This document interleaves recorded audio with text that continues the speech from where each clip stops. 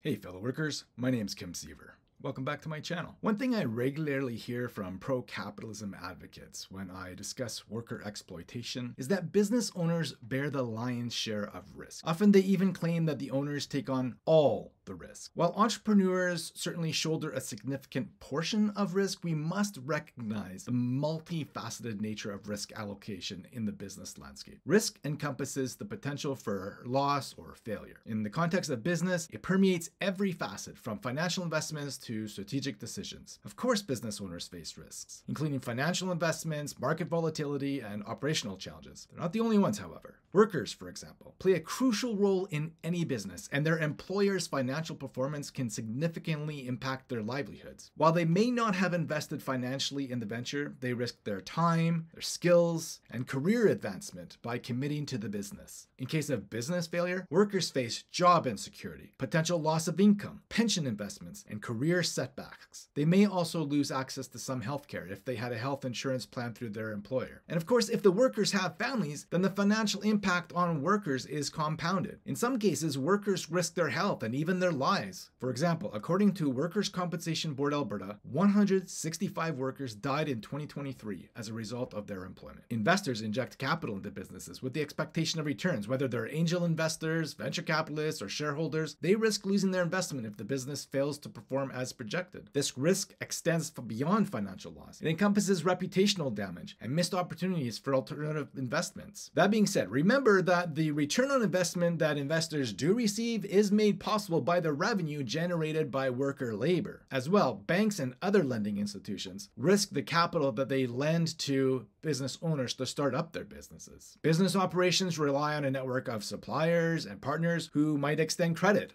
they provide goods and services and contribute to the overall functioning of the business. They face the risk of non payment, supply chain disruptions, and reputational damage associated with the businesses they're associated with. Customers invest their resources, whether money, time, or trust, in products or services offered by businesses. They risk dissatisfaction, financial loss, or even harm if the business fails to deliver on its promises. Negative experiences can result in lost customers, damage to brand reputation, and legal repercussions. Beyond these stakeholders, risk in business is often distributed across various entities and factors. Collaboration and shared responsibility mitigate risk and foster resilience. Partnerships, insurance, diversification, limited liability, and contingency planning are strategies some business owners use to reduce risk. The myth that business owners carry all the risk oversimplifies the complex dynamics of entrepreneurship. While they do shoulder significant responsibility, risk permeates throughout the business ecosystem, impacting workers, investors, lenders, suppliers, customers, and society at large. Business risk isn't a zero sum game where one party bears all the burden. Instead, it's distributed among stakeholders based on their contributions, dependencies, and exposure exposure. Successful businesses employ a range of strategies to mitigate risk and enhance resilience. These include diversification of revenue streams, maintaining liquidity, investing in risk management tools, fostering strong relationships with stakeholders, and staying agile in response to market dynamics. Businesses are integral parts of communities and economies, and their success or failure reverberates beyond their owners. Job creation, innovation, wealth generation, and social responsibility are dimensions of business that affect society at large. The societal impact of a business failure underscores the shared nature of risk.